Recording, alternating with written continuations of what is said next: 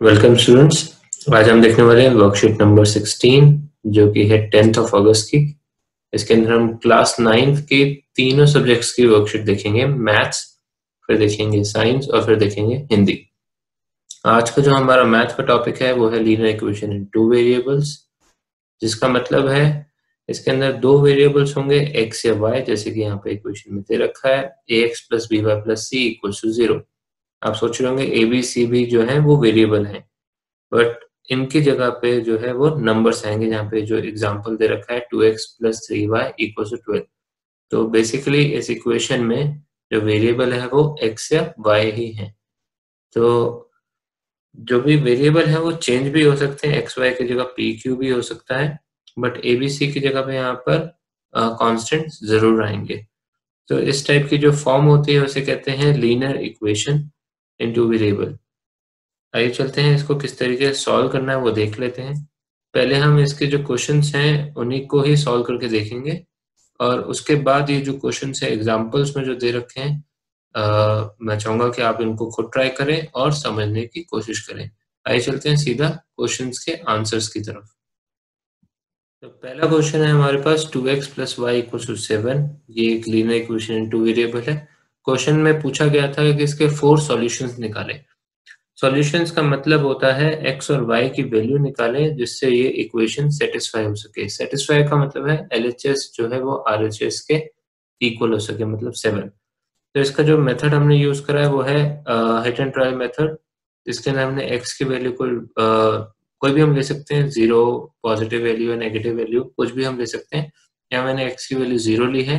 और इसको इक्वेशन के अंदर पुट करा तो मुझे मिल गया एक्स की वैल्यू हो गई सेवन सिमिलरली मैं एक्स की वैल्यू यहाँ पे मैंने वन पुट करी तो यहाँ पे मुझे वाई की वैल्यू मिल गई फाइव तो आप इस तरीके से जो है वो टेबल आप बना सकते हैं, जिसके अंदर आप सारी की सारी वैल्यूज़ आप लिस्ट डाउन कर देंगे. मैंने यहाँ पे वाई की वैल्यू भी ले ली है ज़ीरो आप चाहे तो एक्स की वैल्यू टू या माइनस वन कुछ भी ले सकते हैं. मैंने ये दिखाने की कोशिश करी है कि आप एक्स या वाई दोनों में से किसी में भी आप वैल्यू अपने आप लेट करके पुट कर सकते हैं, उसकी मदद से y की वैल्यू या x की वैल्यू आपको मिल जाएगी। तो इस तरीके से चार सॉल्यूशन मिल चुके हैं हमारे पास। आइए चलते हैं क्वेश्चन नंबर टू की तरफ़। क्वेश्चन नंबर टू में एक इक्वेशन आपको दे रखी थी लीनर इक्वेशन जिसको आपके पास उसके सॉल्यूशंस भी दे रखे थे, यहाँ पे जैसे ज़ीरो कॉमा टू और ऐसे और भी। तो आपको बताना था कौन सा सॉल्यूशन इसका है और कौन सा नहीं है। तो आपको क्या करना है? इसके अंदर ये एक्स और वाई की वैल्यू मिल गई आपको। जो पहला होता है वो एक्स दूसरा होता है वाई जो हम कोऑर्डिनेट ज्योमेट्री में पढ़ चुके हैं। तो आपको क्या करना है? इसकी वैल्यू इस इक्वेशन में आपको पुट करनी है। और इसके एल में आप पुट करेंगे तो इक्वल टू फोर चाहिए। ये क्वेश्चन में दे रखा है। तो आप जैसे इसको पुट करेंगे आपको आंसर मिल जाएगा। अगर फोर आ जाता तो येस होता, अगर नहीं आता तो हम इसको नो लिख देते हैं। तो यहाँ पर माइनस फोर मिला है मुझे तो माइनस फोर फोर के इक्वल नहीं है तो हम लिख देंगे no this is not a solution तो इसी तरीके से सेकंड पार्ट पे चलते हैं टू कॉमा ज़ीरो इसको भी हम पुट करेंगे तो आंसर नो मिलेगा। थर्ड पार्ट देख लेते हैं फोर कॉमा ज़ीरो जब हमने पुट करा तो आंसर यस हो गया बिकॉज़ आंसर मेरा जो आ रहा है वो फोर आ रहा है तो हम यहाँ पे यस लिख देंगे। लास्ट पार्ट देख लेते हैं वन कॉमा वन इसका आंसर नो आ रहा है माइनस वन है। तो आज की वर्कशीट में इतना ही। नेक्स्ट वर्कशीट की तरफ़ चलते हैं साइंस की। तो साइंस की वर्कशीट नंबर 16 में हम देखने वाले हैं atomic atomicity and molecular mass का टॉपिक सबसे पहले देख लेते हैं एटॉमिसिटी का टॉपिक इसका मतलब क्या होता है? Total number of atoms present in a molecule of an element compound और matter is known as atomicity of the molecule तो बेसिकली हमें ये इसके अंदर पता करना होता है कि एक एलिमेंट या कंपाउंड या मैटर के अंदर कितने एटम्स से वो बना हुआ है। तो एक एग्जांपल देख लेते हैं यहाँ पे H2O H2O क्या है? एक वाटर का मॉलिक्यूल है। जिसके अंदर दो एटम आपको हाइड्रोजन के मिलेंगे और एक एटम आपको मिलेगा ऑक्सीजन का। तो इसका मतलब टोटल नंबर ऑफ़ एटम्स इसके हो गए थ्री तो इसकी एटोमिसिटी भी क्या हो गई? थ्री तो एक और एग्जांपल यहाँ पे दे रखा है ऑक्सीजन का. ऑक्सीजन का फॉर्मूला हो गया O2 तो इसके अंदर कितने एटम हो गए? दो. तो इसकी एटोमिसिटी हो गई टू तो टू एटोमिसिटी को बोलते हैं डायटोमिक और अगर थ्री हो गया तो ट्राई एटॉमिक इसी तरीके से आपको जो क्वेश्चन है, उसमें भी आपको एटोमिसिटी फाइंड करने के लिए पूछा गया है उसको हम आगे देख सकते हैं इसके बाद आपको यहाँ पे बताया गया है एटॉमिक मास का जो यूनिट है वो है यू यू से रिप्रेजेंट करते हैं। और इस टेबल के अंदर आपको बताया गया है कि नंबर ऑफ़ एटम्स किस तरीके से हम फाइंड कर सकते हैं, किस तरीके से साइंटिस्ट फाइंड करते हैं। तो यहाँ पे जैसे कार्बन डाइऑक्साइड का CO2 है तो यहाँ पे एग्ज़ाम्पल दे रखा है जो उसका ratio of number of atoms है वो वन है। वो किस तरीके से आया? तो उसका फॉर्मूला होता है mass ratio upon atomic mass ratio तो यहाँ पे देखें डिवाइड कर रहा है। तो कार्बन और ऑक्सीजन का जो मास रेशियो है, वो है थ्री इज़ टू एट और एटॉमिक मास रेशियो है, वो है थ्री इज़ टू फोर अगर मैं थ्री और थ्री को डिवाइड करूँ तो आएगा वन और एट और फोर को डिवाइड करूँ तो आएगा टू इसका मतलब एटॉमिक नंबर रेशियो जो हो गया, इसका वन इज़ टू टू इसका मतलब ये हुआ तो अगर कार्बन डाइऑक्साइड बनानी है तो एक एटम ऑफ़ कार्बन लगेगा और दो एटम ऑफ़ ऑक्सीजन का हमारे पास चाहिए होगा तो हमारे पास कार्बन डाइऑक्साइड बन पाएगी तो एक एग्जांपल और हम देखेंगे क्वेश्चन के अंदर। अभी चलते हैं मॉलिक्यूलर मास की तरफ़। मॉलिक्यूलर मास के लिए आपको ये, इनका एटॉमिक मास आपको पता होना चाहिए। यहाँ पे इन्होंने दे रखा है एक तरीके से टेबल और किस तरीके से फाइंड करते हैं वो देख लेते हैं। यहाँ पे कार्बन डाइऑक्साइड टू का हम मॉलिक्यूलर मास फाइंड करेंगे। यहाँ पे जो कार्बन है वो एक एटम है तो इसलिए हम one into molecular mass atomic mass of carbon कर देंगे। तो so, जो कि है ट्वेल्व सो so, यहाँ पे ट्वेल्व इंटू वन ट्वेल्व हो गया। और टू एटम ऑफ़ ऑक्सीजन है तो एटॉमिक मास ऑफ़ ऑक्सीजन हो गया आपका सिक्सटीन यहाँ पे दे रखा है तो sixteen into two thirty two तो टोटल हो गया फोर्टी फोर फोर्टी फोर इसका एटॉमिक मास हो गया किसका? कार्बन डाइऑक्साइड का। इसी तरीके से H2O का भी दे रखा है यहाँ पर।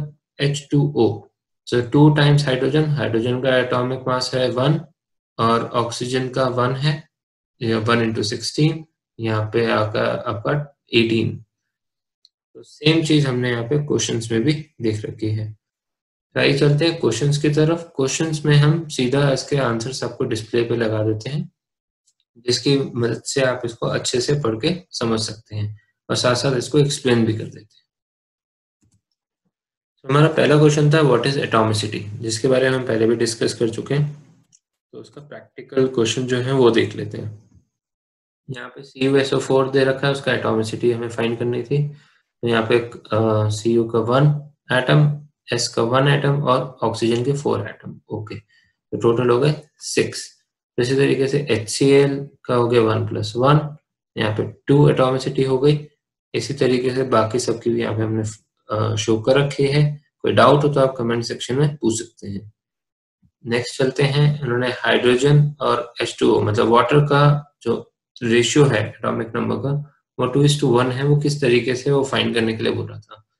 तो हमने जैसे कि बोला आपको मास रेशियो और एटॉमिक मास रेशियो को हमें डिवाइड करना होता है। तो हाइड्रोजन और ऑक्सीजन का मास रेशियो है वन इज़ टू एट और एटॉमिक मास रेशियो है वन इज़ टू सिक्सटीन तो one divided by one one हो गया और eight divided by sixteen half हो गया। अब यहाँ पे इस तरीके से रेशियो नहीं लिखते फ्रैक्शन में। तो हमें इसको फ्रैक्शन से हटाने के लिए बेसिकली हमने एलसीएम लिया है। या आप समझ लीजिए, यहाँ पे डिनोमीटर टू है तो टू से मल्टीप्लाई कर दिया। तो टू टाइम्स वन टू हो गया और हाफ़ टाइम्स टू हो गया वन तो हमारा जो रेशियो हो गया वो टू इज़ टू वन तो थर्ड क्वेश्चन की तरफ़ चलते हैं।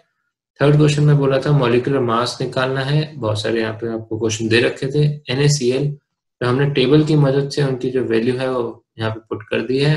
वन एटम एन है और वन एटम सी है। तो इसलिए वन से मल्टीप्लाई करा है और टेबल से वैल्यू देखी है तो धीरे धीरे करके आप कोशिश करें वो टेबल की वैल्यू याद भी कर लें। तो इसी तरीके से बाकी भी दिखा देते हैं। Molecular mass of C U S O four यहाँ पे ओ जो है फोर है, इसलिए यहाँ पे फोर से मल्टीप्लाई करें बाकी सारे क्या है? वन यहाँ पर आप आंसर इसका देख सकते हैं। Similarly H two C O three last हो गया आपका एच टू ओ तो साइंस की वर्कशीट में इतना ही। आगे चलते हैं हिंदी की वर्कशीट की तरफ़। आइए अब आपकी हिंदी की वर्कशीट देख लेते हैं। हिंदी की वर्कशीट है आपकी वर्कशीट नंबर 16 लासा की ओर। ये आपका संदर्भ पार्ट दो लहासा की ओर उसी का कंटिन्यूएशन में है और आज ये वर्कशीट आपकी कंप्लीट हो जानी चाहिए, ये चैप्टर कंप्लीट हो जाना चाहिए। तो जल्दी से देख लेते हैं कि इस वर्कशीट में क्या है। प्रस्तुत गद्यांश लहासा की ओर पाठ से ली गई है। लहासा तिब्बत की राजधानी है। पूरा तिब्बत बौद्ध धर्म का अनुयायी है। इस अंश में तिब्बत के जीवन से जुड़ी बातों का उल्लेख किया गया है। इसे ध्यान से पढ़कर पूछे गए प्रश्नों के उत्तर दीजिए। तो जो आपका पाठ है लहासा की ओर उसी में से ये लिया गया है ये अंश और इसमें ये भी बताया गया है कि लहासा जो है वो तिब्बत की राजधानी है और तिब्बत में जो लोग हैं वो बौद्ध धर्म का आ, को फॉलो करते हैं बौद्ध धर्म को मानते हैं वो। तो उसी तिब्बत के जीवन से जुड़ी ही बातों का यहाँ उल्लेख किया गया है। तिब्बत की ज़मीन छोटे बड़े जागीरदारों में बटी थी। इन जागीरों का बड़ा हिस्सा मठों के हाथ में था। अपनी अपनी जागीर में हर जागीरदार कुछ खेती खुद करता था, जिसके लिए मजदूर उन्हें बेगार मिल जाते थे।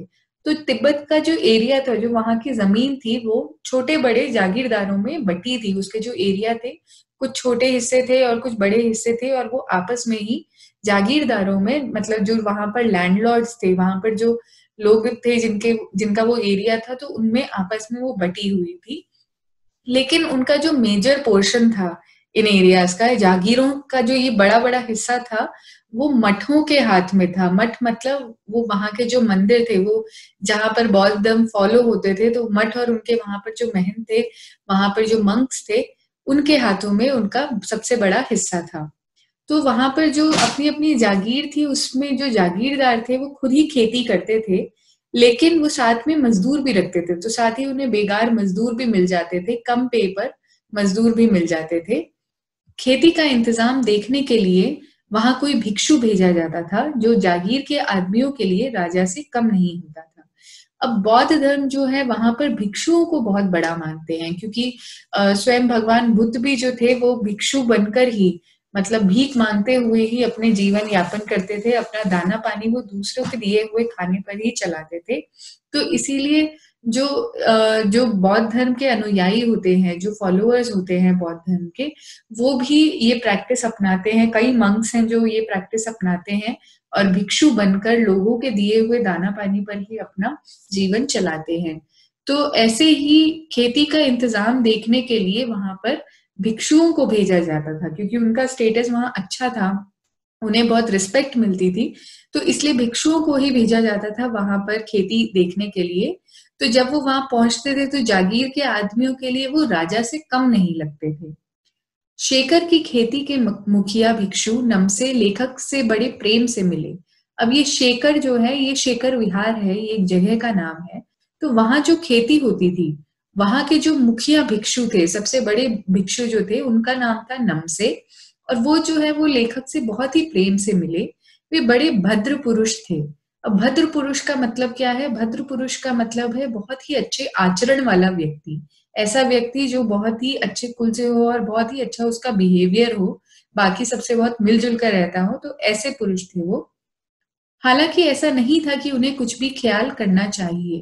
तो ये थोड़ा सा एडिटेड लाइन है, आप अगर ओरिजिनल चैप्टर में पढ़ेंगे तो इस लाइन में ये लिखा है कि जो लेखक थे, उन्होंने जैसे कपड़े पहने हुए थे, वो बहुत ही बुरी हालत में थे। वो ऐसे लग नहीं रहे थे कि जैसे वो बहुत पढ़े लिखे लेखक हों।